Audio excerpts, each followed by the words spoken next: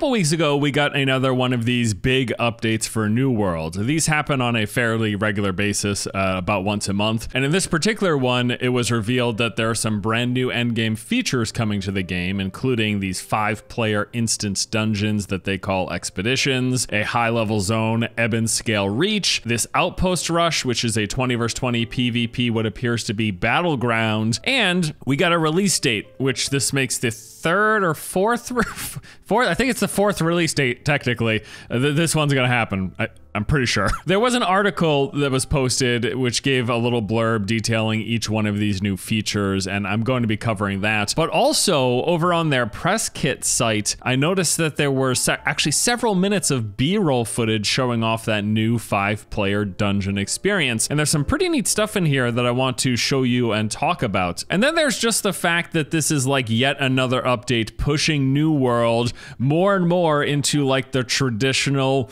MMO feature set with the addition of these instance five player dungeons, which originally they had no intention of including in the game, and also what appears to be these PvP battlegrounds in this 20 vs 20 outpost rush mode, which I personally believe to be a direct response to what is a rather restrictive nature in their current faction war system, which I'll talk more about a little later on. So yeah, let's go ahead and dive into and check out all of this new stuff that's coming into New World.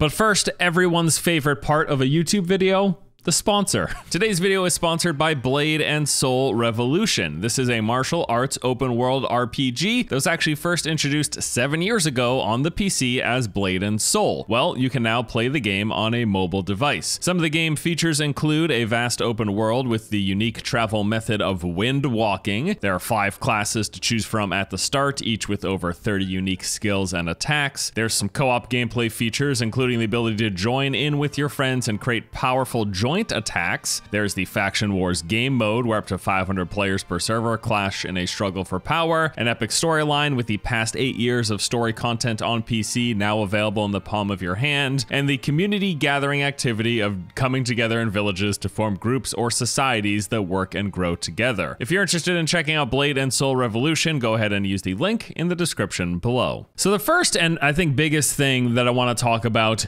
is these new dungeons, what they're calling expeditions expeditions, and they describe this as these five player instanced adventures that take you to the darkest corners of Aeternum. And of course, you can expect difficult battles that will challenge your group, require skill coordination uh, in order to achieve victory. Now, as I mentioned, besides what they briefly showcased in the video that they published, as well as the article, heading on over to their press site, their creator kit or whatever they call it, there was actually several minutes of B roll footage, which gave us some insight onto how these dungeons are going to be uh, looking and functioning. So let's go through some of that footage here. We've got this one clip where players start off by entering the dungeon entrance. This particular one looks to be in the side of like a cave or a mountain or whatever. It reminds me a lot of the Dark Souls boss fog before you have a boss encounter, that foggy wall that you have to walk through. You also notice this little rune above the entrance. I'm curious if that'll be above every dungeon entr entrance. And then after the entry scene, we see several scene setting shots. This dungeon looks to be like a temple dedicated to the ancients, one of those mysterious factions. These kind of ancient themed runes are actually found all throughout the game in every zone and will have a variety of enemies in them. This particular one looks to be filled with zombies and Geist. There's a pretty brief clip of the party fighting a group of these types of enemies, and then you see them come across this sealed gate, which needs an Azoth st staff to unlock. Past the gate, we also see the mining of this specialty ore, and then right after that, we see the party completing a series of tasks. There's a shot of them interacting with this shrine. Then we see uh, party members stepping onto these pressure plates that look to require multiple people. And then eventually, once those plates were activated, it summoned up this bridge and an abomination for that they had to kill in order to acquire this candle. And then we see them placing that candle on a shrine and eventually also translating some scripts that they found at this stone. So it looks like the dungeons are going to be more than just walk into the dungeon kill some enemies, fight a boss, collect your loot. There will be other activities or puzzles for you to actually participate in. We also got a 30 second clip of a uh, encounter. I think I don't think this is a full-on boss fight. I actually believe it's just a fight with a, just an elite enemy. It's called the Star Excavation Ravager, and we'll notice that it's got several abilities that it can do. It has the ability to charge. It's got this melee slap and a ground slam. It can also puke all over the ground, which I'm assuming leaves a puddle that deals damage over time or something. Um, and you'll also notice in this clip there are several shots from various perspectives of what looked to be a dedicated healer, a dedicated tank, as well as three damage dealers. So it looks like they're going for their traditional Holy Trinity group, but I'm curious if that is even going to be necessary. It's going to really depend on how easy it is to kite these bosses. I mean, this count encounter, the reason I think it's an elite fight and not an actual boss boss fight is with how easy they took it down. They were similarly leveled and they managed to kill it pretty quickly without seemingly too much issue. So hopefully actual boss encounters are a little more interesting than this particular engagement. But hey, we got to see a elite uh, a five player dungeon encounter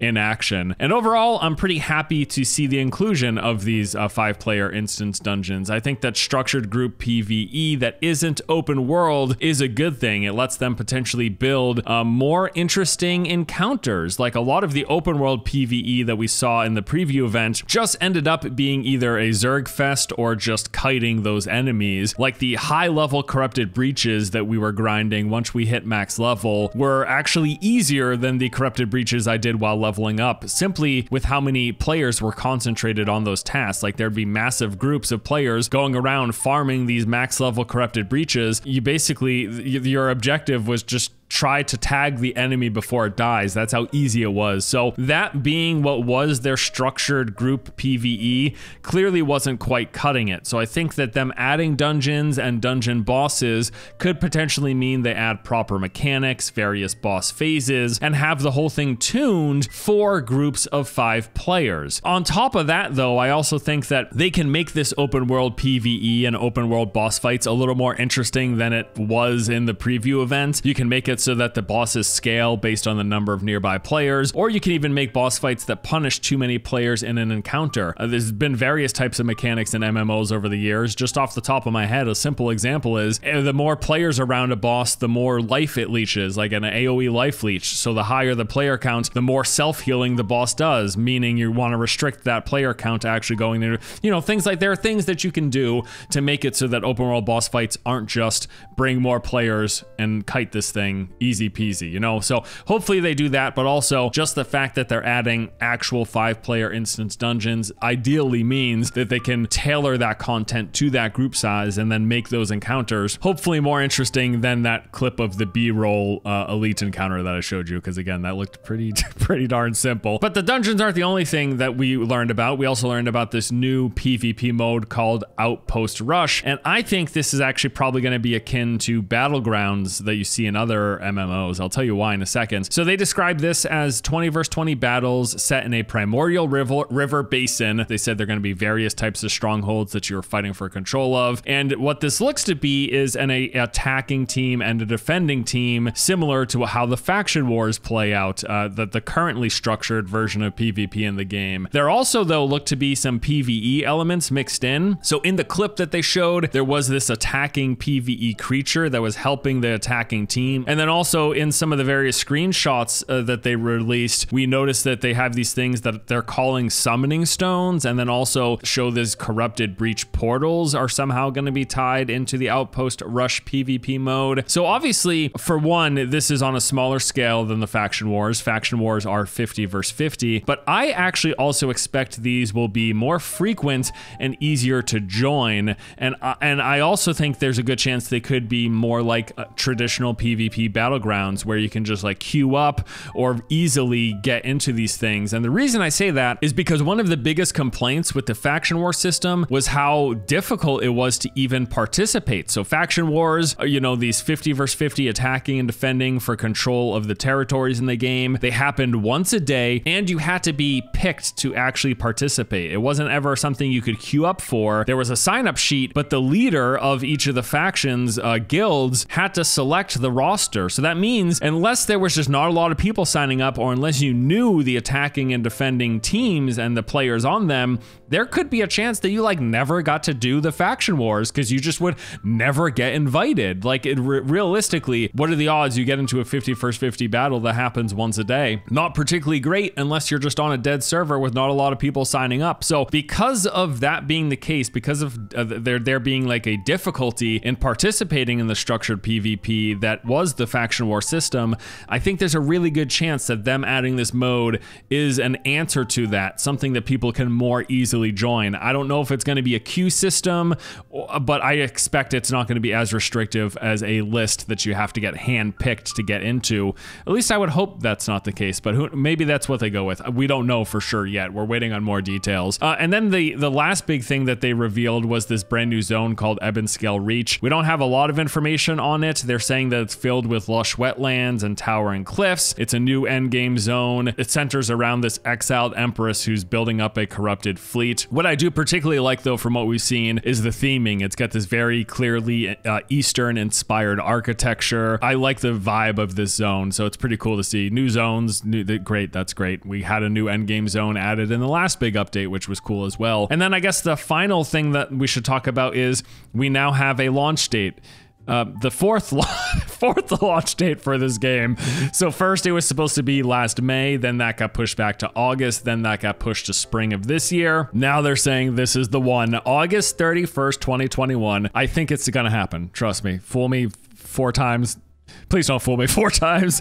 So August 31st, and, and, they're saying that this delay is to add more features, like all of the features that we just discussed: the new P, the new dungeons, the new PvP mode, um, and then also just to focus on shipping a high quality, polished experience. Prior to the launch, there is going to be a closed beta about a month earlier, uh, starting on July the 20th. They say this will be available to anyone who pre-orders the game. Here's my suggestion: if you want to see how this game is shaping up, pre-order the game, but make realize that you could refund it or make sure you can refund it before you pre-order the game. I don't advise in pre-orders in general. I'm totally toeing the line there that with a lot of people suggest. I don't think it's good for the industry. I don't think it's good for us us consumers, us players. But yeah, you could try you could pre-order the game, try the beta and then refund the pre-order if you don't like what you see. And not to shit on New World, I these people work hard to make this game. I get it, but look, like we, we, we I'm more concerned about you guys not wasting your money on something if it doesn't turn out good. But I'm li- I am liking what I'm seeing of New World, and I guess that's kind of the interesting thing that I wanted to touch on with this video.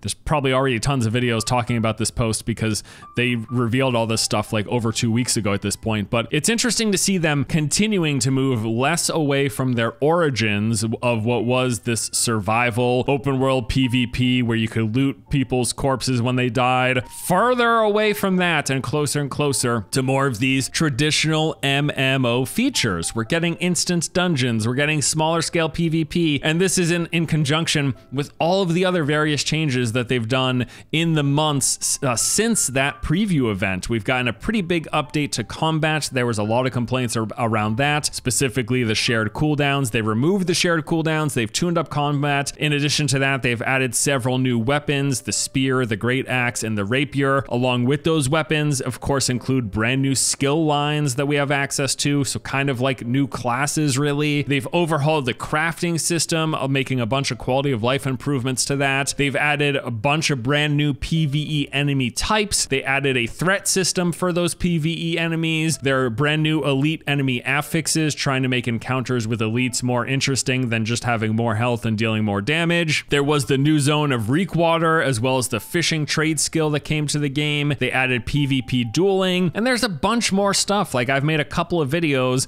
since the preview events with these monthly updates of all this new stuff that they've been adding. And yeah, it's just the game is cha- changing a lot, a real lot. A lot's been coming to this game, and I suspect we're still going to be hearing more in the time between now and that beta that's taking place in July. And obviously, we're going to get more details. They mentioned that at the end of their uh, blog post. We'll be getting more details about these features that we're touching on here today in the coming months as well. So, very very happy to see the inclusion of dungeons. I am curious on how elaborate they're going to be. Like, are we saying every dungeon will have one boss, three boss, five bosses? How many are we going to get? How much PvE uh, clearing will there be? Are there going to be many puzzles, things like that? And then also, what is forming a group and entering the dungeons like? Is there going to be a queue system like what WoW does, or is it going to be um, form a party and walk your asses there? I'm actually kind of hoping that's what it does end up being. Um, I just think it's better for world immersion and stuff. Not better for your your free time, but better for immersion. and then hopefully beyond the dungeons, we also get more as well as more interesting open world PvE activities, like I mentioned. And I have to say that I think th them adding more structured PvP modes is probably also a good thing. Touch, I've said this before. I think there should be like one zone in the game dedicated to open PvP. Have at least that taste for the people who liked what New World originally was. I have to say though, this continues to be one of the most promising new MMOs coming out this year, partially by virtue of it possibly being the only new MMO coming out this year. But memes aside, I do think it looks good. I think it's shaping up well, and I'm happy to see that they are continuing to improve it. I'm happy they're taking their time. Honestly, when they delayed it back eh, last August and they said said they were coming out in spring, my initial re reaction was, guys, take a year. I think you need more than a few months. And hey, they're doing it. So good. If good, good. I don't think it's because of my advice. I hope not. Don't.